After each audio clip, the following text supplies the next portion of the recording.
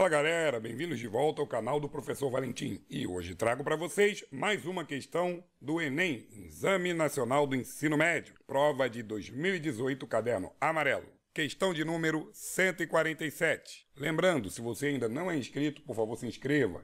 Isso faz toda a diferença na continuidade desse trabalho. Agora chega de papo e vamos à questão. De acordo com um relatório recente da Agência Internacional de Energia, AIE, o mercado de veículos elétricos atingiu um novo marco em 2016, quando foram vendidos mais de 750 mil automóveis da categoria. Com isso, o total de carros elétricos vendidos no mundo alcançou a marca de 2 milhões de unidades, desde que os primeiros modelos começaram a ser comercializados em 2011. No Brasil, a expansão das vendas também se verifica a marca A. Por exemplo, expandiu suas vendas no ano de 2016, superando em 360 unidades as vendas de 2015, conforme representado no gráfico. Ou seja, 2016 superou 2015 em 360 unidades. O que, que eu vou fazer? Cada carrinho desse aqui, no gráfico, ele tem a mesma quantidade de carros. Por exemplo, aqui vendeu X, X, X, X, X. Ou seja, em 2016 ele vendeu 5X. Em 2015 ele vendeu quanto X? 2. E em 2014 ele vendeu apenas um X. O que significa isso? Significa o seguinte: em 2016 ele superou em 360 unidades 2015.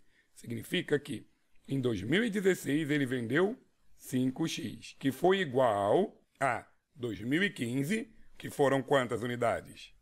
2x mais 360. Isso significa que em 2016 ele superou 2015 em 360 unidades.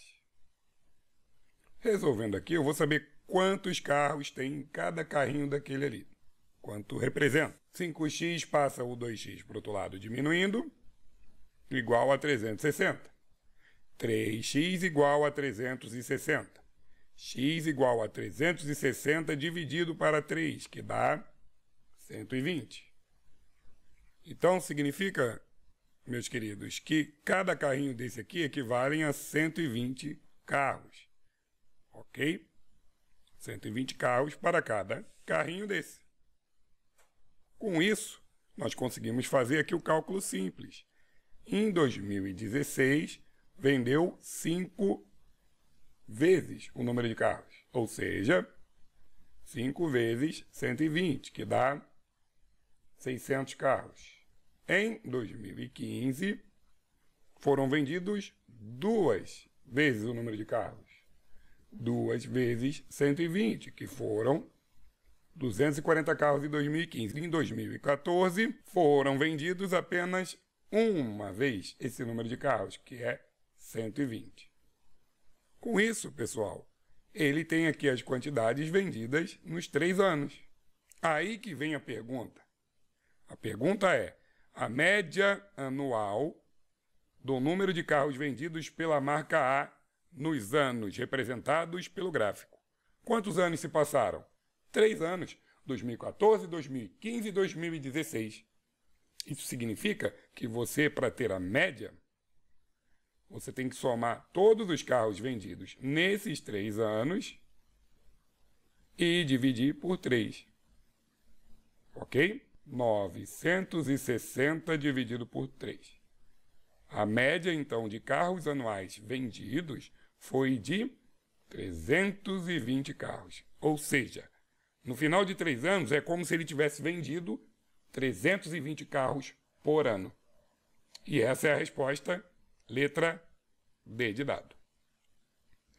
Entenda que a análise gráfica é sempre mais tranquila, né? Posso colocar assim para vocês optarem por começar por ela.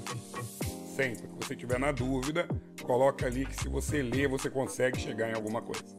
Essa questão foi uma questão de média aritmética, foi bem tranquilo. Espero que todos tenham entendido. Mais uma vez eu agradeço terem ficado até aqui. Deixe o comentário, deixe a curtida e, por favor, se inscrevam, isso me ajuda muito. Valeu, muito obrigado e até a próxima. Valeu!